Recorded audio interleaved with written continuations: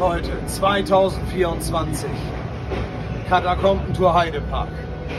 Wir brauchen eure Unterstützung. Schaut vorbei. Ich weiß nicht, ob ich das alleine hier bewältigen kann.